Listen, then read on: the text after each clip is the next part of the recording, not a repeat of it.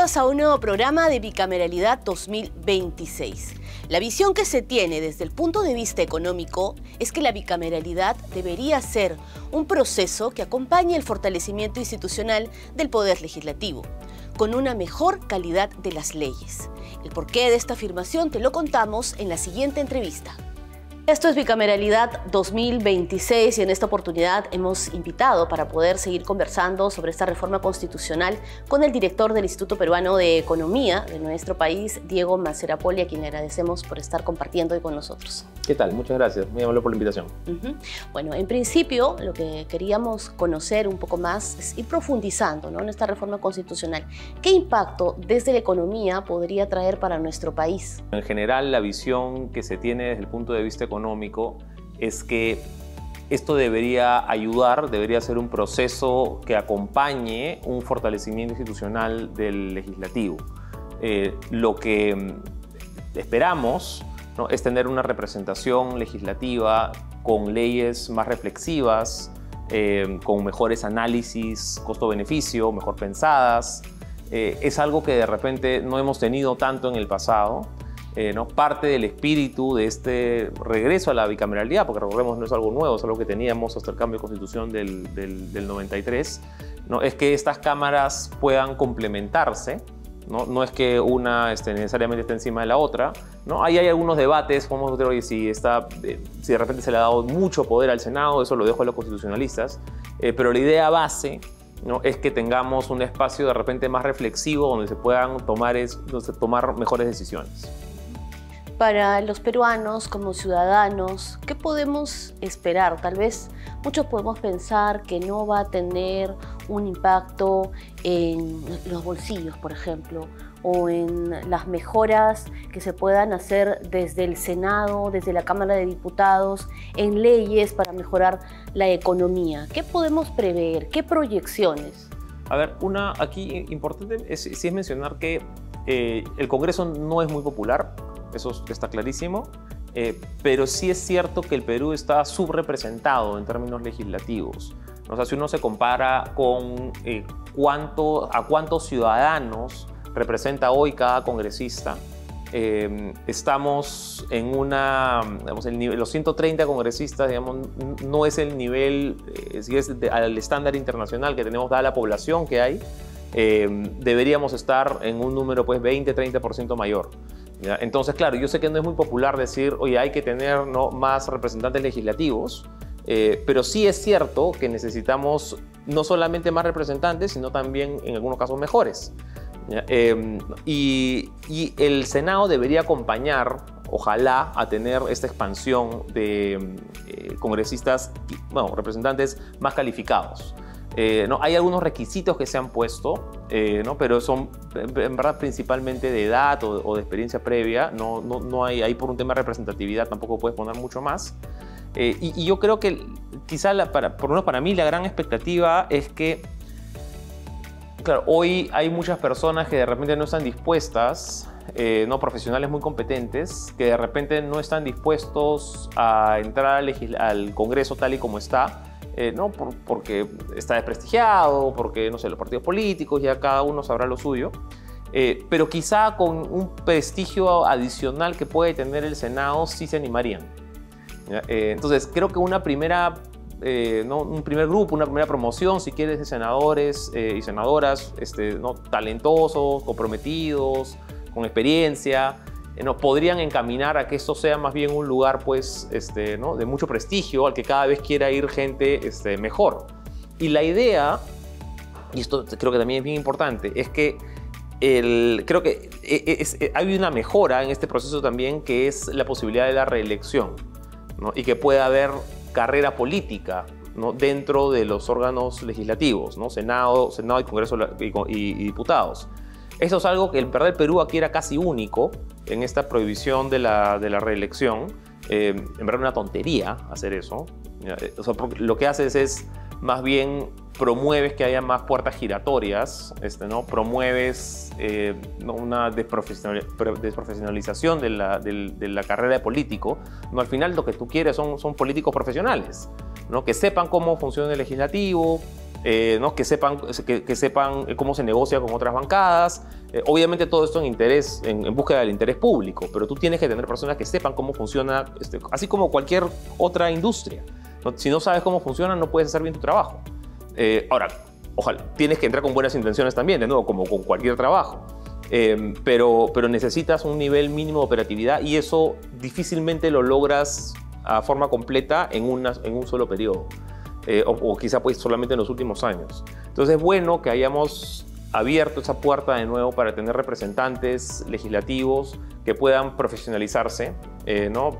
en Cámara de Diputados, en, senadores, em, y también que les demos a los... quizá el siguiente paso debería ser pensar cómo hacemos circunscripciones que sean un poco más pequeñas em, para que no, para que no tengamos esta, ¿no? Lo, que pasa un poquito en Lima, eh, quizá podamos partir Lima, no sé, pues en unas cuatro partes, en unas cinco partes, eso, eso quizás sería una buena idea. Em, y lo otro que es urgente es empezar a acotar el número de, partidos políticos que pueden participar. O sea, es, un, es un, absoluto sinsentido pues, que tengamos más de 30 partidos. Eso no, eso no, no pasa en ningún país. Eh, entonces, creo que eso es un buen proceso de inicio, el Senado, me parece que es, que es correcto. Creo que la gran mayoría de analistas coincide en que eso es una reforma positiva para la institucionalidad. Eh, y creo que, pero creo que también el consenso es que no va a ser suficiente. Está bueno, es un buen camino. Eh, ha habido algunas reformas alrededor, como esto de, la, de la, quitar la, la, prohibición de la reelección, está bien. Eh, lo mismo con la prohibición de, de, alcaldes y de, y de, gobernadores, eso también, eso también está bien que se elimine. Em, ahora los siguientes pasos, creo, creo que los dos, las dos urgencias pasan un poco por acotar el número de partidos políticos, cómo hacemos para, promover alianzas por lo menos, eh, y cómo hacemos circunscripciones electorales un poco más pequeñas, sobre todo para diputados. Visto de esa manera, y ya para ir terminando, entonces hay una gran responsabilidad a la que va a tener esta, esta, esta bicameralidad, este sistema bicameral, ¿no? es, un, es todo un reto. Sí, va a ser un, eh, va a ser un reto. al comienzo probablemente vamos a encontrar... Esta promoción. Esta primera, esa, primera promoción, sí. Yo, o sea, yo creo que eh, no, es que... Eh, o sea, estamos cambiando de sistema, ¿no? Entonces, es, puede ser normal que al comienzo encontremos algunas fricciones mientras descubren los senadores exactamente ¿no? el, rol que tienen que jugarlo, ¿no? la Cámara de Diputados se adecua, la misma presidencia de la República, Ejecutivo. ¿no? Entonces, porque estamos cambiando, es un cambio bien, es el cambio más grande que hemos tenido en la Constitución. O sea, es el cambio más grande constitucional que ha habido desde, desde, que arrancó la Constitución en el 93. O sea, por lejos, es el cambio más grande. Eh, entonces, eh, no, no hay un, probablemente un proceso de adecuación que, van a, que van a tener estos, eh, esta, nueva cámara. Em, ahora, el, en general, en el resto de países, esta suele ser la mejor práctica. Ahora, no sé, eh, sí es importante que las personas que la, que la integren y los partidos políticos que estén, que, estén ahí em, tengan, ojalá, pues el mejor nivel posible. Eh, no, yo pienso que con este, no sé, pues ese prestigio adicional, a veces uno se acuerda pues de la, de la, Cámara de Senadores de hace, no sé, 30, 40 años, ¿no? Y dice, uy, está, ¿no? Como, como si tuviera pues un prestigio, un prestigio más grande, ¿no? Entonces quizá con este prestigio adicional que, que arrastra desde hace, eh, de la imagen que algunos tienen desde hace 30, 40 años, pueda jalar a gente eh, con, con mayor experiencia eh, y eso darle pues una, una continuidad hacia, los, hacia las siguientes generaciones, si quieres verlo así, eh, como una, eh, una salvaguarda adicional a la institucionalidad democrática, que al final es al final lo que queremos, queremos este, tener mayor estabilidad, mayor predictibilidad sobre las normas, normas mejor pensadas, eh, un mejor control entre el legislativo, este, un mejor control del legislativo este, y, y, su relación con los demás poderes del Estado. de nuevo, puede ser que al comienzo encontremos algunas fricciones, creo que es normal en cualquier cambio grande, eh, pero en el, con, algo, con algo de buena voluntad y competencia en el tiempo eso se debería limar y estar mejor que antes. Y si se nos ha olvidado algo, eh, pedirle que de repente en estos últimos minutos de la entrevista pueda dar un mensaje desde su mirada, que es una mirada muy especializada, a quienes están conectados a la señal, a quienes nos pueden escuchar y pueden seguir su entrevista. Sí, mira, eh, el año pasado fue muy malo, el, el 2023 en términos económicos. Eh, no, nadie esperaba que, que, nos fuese tan mal. Este año hemos estado mejorando poco a poco eh, y yo creo que hay un buen caso para hacer de un Perú que debería estar creciendo, vamos a decir, por encima del 4%, eh, que es lo que realmente necesitamos para cerrar brechas, para reducir pobreza, para ensanchar clase media, para recuperar en realidad mucho de lo perdido que tuvimos a partir del COVID. Eh, el Perú es un país que todavía no ha logrado, más allá de la parte de, salud y de las muertes, que eso nunca se va a recuperar, eh, pero en términos puramente económicos no hemos logrado recuperar del todo estas heridas. Em, para efectivamente ¿no? poder eh, dar los siguientes pasos, lo indispensable es tratar de generar un, ecosistema donde haya mayor predictibilidad, mayor inversión privada, y eso es lo que nos lleva a mayor empleo y al final del día mayor bienestar.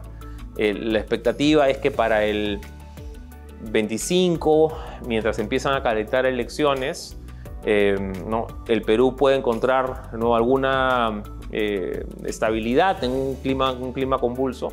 Y yo sí creo que si el 26 no elegimos muy mal, ¿no? si el 26 no, no, no hacemos algo demasiado malo, el Perú tiene la oportunidad de estar creciendo bastante por encima, de, 26, 27, 28 para adelante, si, nos ponemos un poquito las pilas.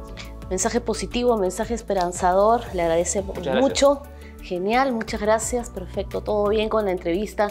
Entonces, y nosotros vamos a continuar recogiendo todos los puntos de vista y todas las miradas para poder brindarles todo acerca de la bicameralidad hacia el 2026.